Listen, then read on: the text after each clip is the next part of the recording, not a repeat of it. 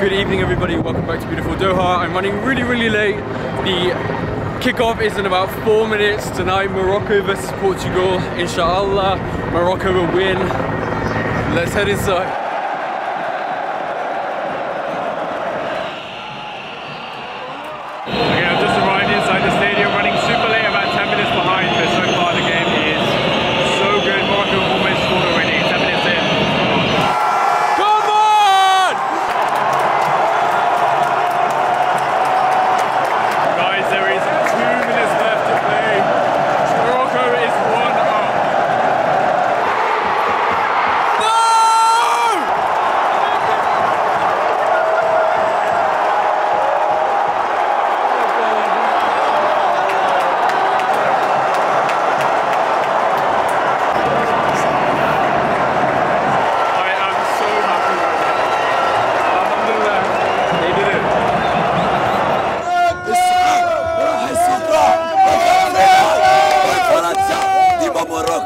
Honestly, you guys, I was not expecting Morocco to win, of course.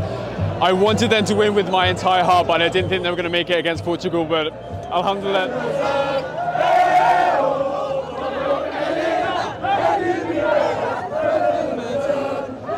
This right here, you guys, Morocco are writing history right in front of our eyes. I hope you can hear me. The atmosphere is phenomenal. I'm so proud of them. We're actually making history. For the first time, an Arabic and an African country has made it to the semi-final. That's Morocco. We write history. We are history. This is unbelievable.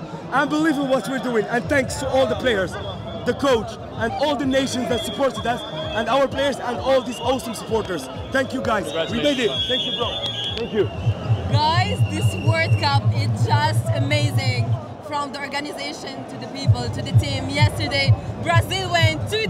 Portugal went. So let's let's keep our our soul excited, and for sure we will make something unbelievable this year. You, you've already made it. This is history in the making Of right course, now. this is history. How, This is- how do you feel seeing it in front of your eyes? we are we are just proud. We are proud, and from this, how my teammate said, "Free Palestine." Yes! So guys, the energy is incredible as I've already said. I'm gonna go and enjoy the celebrations here at the stadium. England against France later, who's gonna win? This is who Morocco will play. Morocco, I'm so proud of you. See you in the next round.